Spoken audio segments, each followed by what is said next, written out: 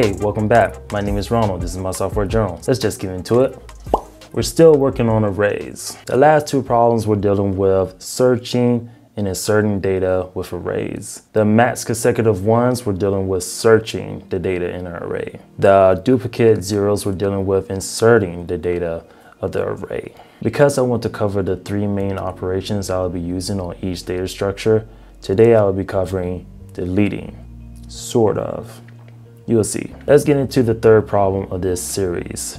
Remove duplicates from sorted array. Here's the prompt. Given a sorted array nums, remove duplicates in place such that each element appears only once and returns the new length. Do not allocate extra space for another array. You must do this by modifying the input array in place with O of 1 extra memory. Clarification, confused why the return value is an integer, but your answer is an array. Note that the input array is passed in by reference, which means a modification to the input array will be known to the caller as well. Internally, you can think of this. So nums is the input array and it's gonna go into your function, remove duplicates. It's gonna just return the length of the array without the duplicates. So as we're going through is going to loop through that array and it's just going to reach to that point where there's no duplicates in that array and that's what's going to be outputting. All right, so let's get to the example for this right here. So the first example, we have one, one, two, and output should be two because we only want one and two. So the new nums will be one, two. Your function should return limp two,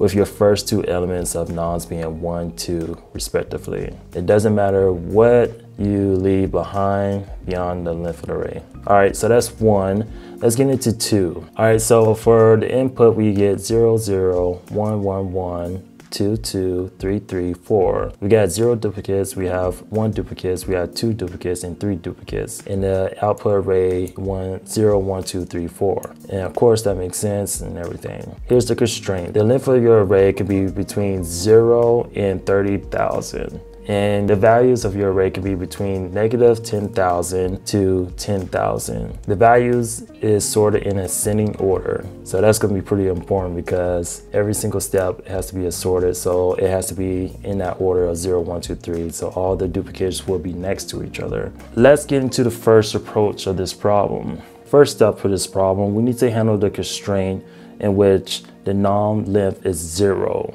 And for the most part, there will be no duplicates of the array is zero because there's no, there's no values in the array. So let's handle that.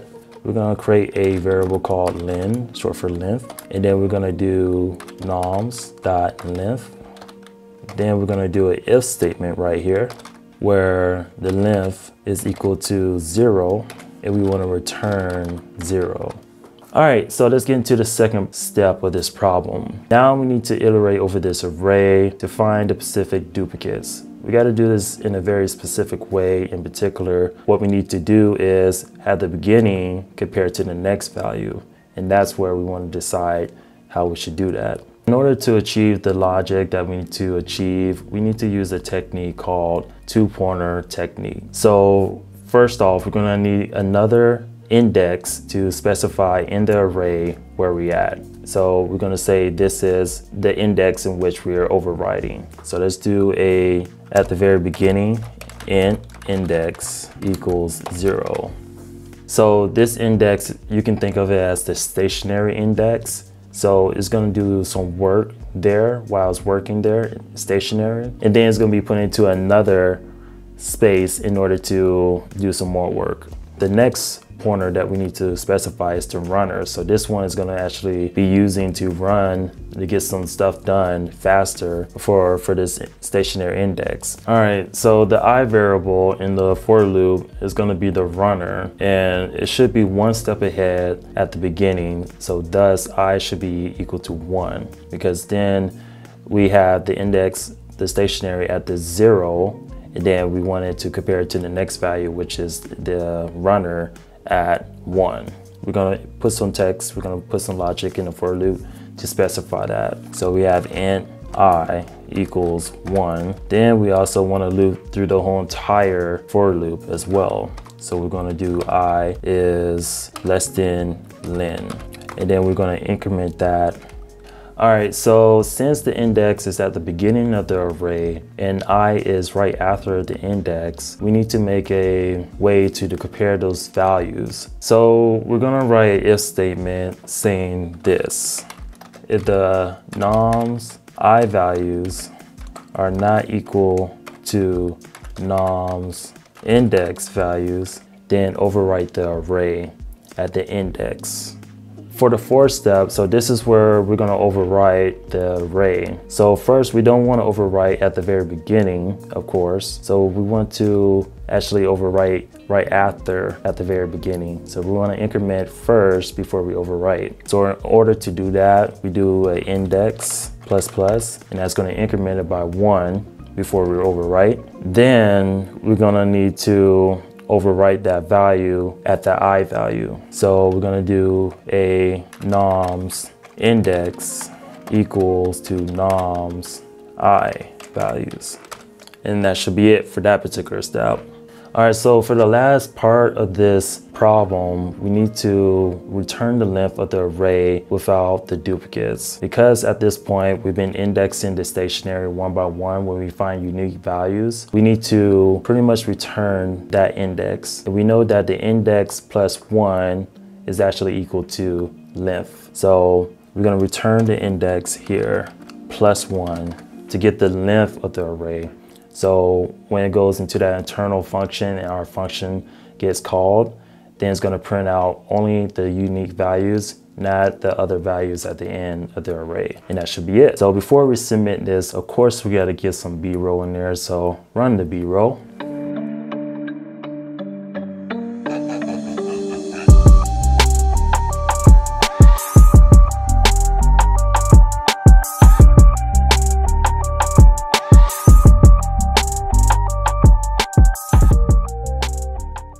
So the time complexity of this particular code is O of n, where n is actually equal to the number of elements inside the array. The reason behind that is because we, at the most, we will have to loop through every single element of the array, and it's really um, n minus one. But if you could think of it like this, n could be infinity, and then that negative one will be insignificant. So the space complexity is O of one, and the reason behind that is because we're just using the in-place array, and anytime we're doing in-place array, we're not allocating any additional information. That should be pretty much it. I hope you guys enjoyed that video. I have more in the series coming up, and hopefully you're gonna see some new and improved uh, programming skills from me for the next couple of problems that I'll be showing to you guys. And I think the next one I will be looking into is recursion because those are the problems I've been working on lately. And so I'm gonna show you guys that pretty soon. So make sure you subscribe to have that notification when those videos drop. And then until next time, peace.